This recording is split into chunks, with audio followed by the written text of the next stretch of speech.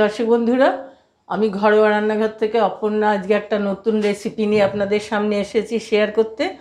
আজকে আমি কুলচা বানাবো। কুলচাটা আমি আলু দিয়ে, আলুর পুর দিয়ে কুলচা করব। কীভাবে করছি আসুন দেখিয়ে দিই, এটা খুবই একটা উপাদেয় খাদ্য।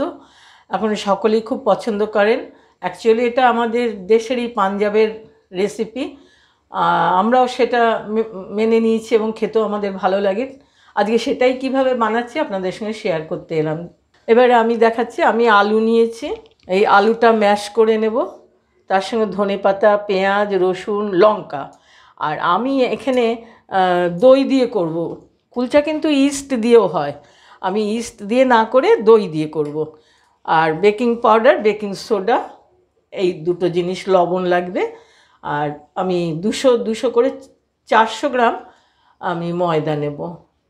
এবার বানাই, কীভাবে বানাচ্ছে?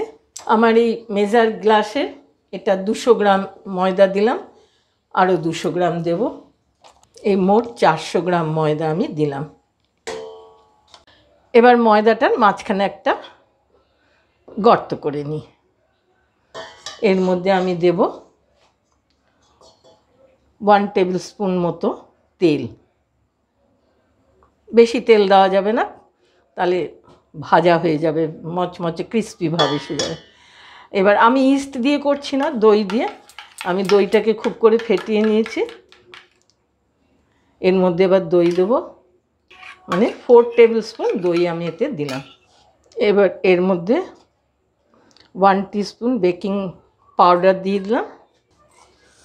ওয়ান টিস্পুন বেকিং সোডা একটু মিশিয়ে দিচ্ছি এটাকে। কেন এটা এখন একটু ফার্মেন্টেশনের জন্য রেখে দিই, দই দিয়েছি, অল্প একটু জল দেবো। বেশি না ডোরটা মাখার সময় আলা, আলাদা জল দিতে হবে, এটা একটু ফার্মেন্টেশনের জন্য দিয়ে রাখলাম। এবার পাঁচ মিনিট মতো আমাকে এটা রেস্টে রাখতে হবে। দর্শক বন্ধুরা, আপনারা দেখুন কী সুন্দর ফার্মেন্ট করা শুরু হয়েছে, এই দেখুন। ঠিক ইস্ট দিলে যেমন হয়, তেমনি। ফার্মেন্ট হয়েছে ইনস্ট্যান্ট ফার্মেন্টেশনের জন্য এই পদ্ধতিটা ভালো। এবার এতে আমি অল্প অল্প করে জল দেবো। সেই জল দিয়ে আমি এটা মেশিনে মাখবো। আমি দইয়ের বাটির জলটা প্রথমে একটু দিয়ে দিলাম। বাকি জল মেশিনে করব। হাতে করতে পারব না, এই জন্যে মেশিনটা সেট করে নিই।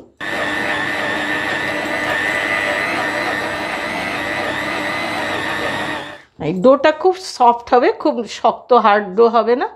দেখুন কেমন নরম হয়েছে। এবার এটাকে আমাকে আধ ঘণ্টা রেস্টে রাখতে হবে। ঢাকা দিয়ে আধ ঘণ্টা এটাকে এখন রেখে দিলাম রেস্টে যতক্ষণ ডোটা রেস্টে রয়েছে, ততক্ষণ আমি আলুগুলোকে ম্যাশ করে নেব। আমি এই আলু ম্যাশার দিয়ে এটাকে করব। আপনারা গ্রেটার দিয়েও করতে পারেন, যেটা দিয়ে সুবিধে যার। এতে মাপ মতো মশলা, লবণ, প্রথমে লবণ দিলাম। এবার ওয়ান টেবিল স্পুন মিক্স মশলা দিলাম। এবার রসুনের কুচি দিয়ে দিলাম। লঙ্কা দিলাম। পেঁয়াজ দিয়ে দিলাম। আপনারা পেঁয়াজ না খেলে পেঁয়াজ না দিয়েও করতে পারেন। আর ধনে পাতা। এই সব দিয়ে এটা মশলাটা মাখবো আলুটাকে। আমি ডো তৈরি করব। একটু মোটা মোটা করতে হবে।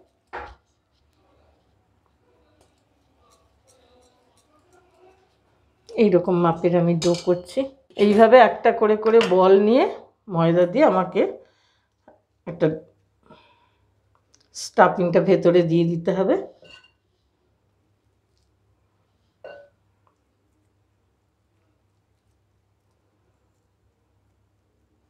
এই ডোটাকে আমাকে বেলতে হবে। একটু ময়দা ছড়িয়ে নিতে হবে। ওপরের দিকে নয়, নিচের দিকে ময়দাটা দিলেই ভালো। গোলও বেলা যায়, আবার একটু লম্বা করেও বেলা যায়। এবার আরেকটু বেলে নিই। এবার এর মধ্যে একটু কালো জিরে ছড়িয়ে দেবো। অল্প একটু ধনে পাতা। এগুলোকে এটা দিয়ে বেলনা দিয়ে আবার বসিয়ে দিতে হবে। গ্যাসটা অনেক চাটুটা গরম করে নিয়েছি, এবার অল্প একটু জল দেবো। জল দিয়ে আমি এটাকে এবার এর উপরে বসিয়ে দিয়ে ঢাকা দিয়ে দেবো। দিয়ে আঁচটাকে মিডিয়াম করে দিলাম। এটা এবারে এটাকে উল্টিয়ে দিলাম। এখানে একটু বাটার স্প্রে করে দেব। অয়েল স্প্রেও করতে পারেন। আবার এটাতে এই দিকেও একটু বাটার লাগিয়ে দিলাম।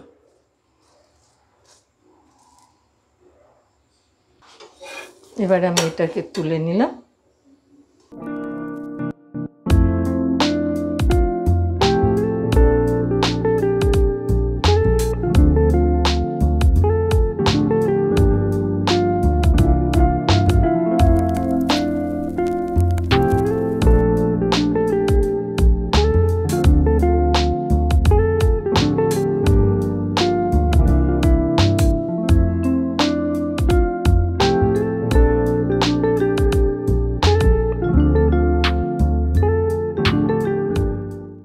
দর্শক বন্ধুরা, আমি আজকে কুলচা বানিয়ে আপনাদের সঙ্গে শেয়ার করলাম, আলু কুলচা। যেভাবে বানালাম আপনাদের দেখালাম, সেইভাবে বানিয়ে আপনারা খেয়ে দেখবেন, খুব ভালো একটা ডিনার হয়ে যায়।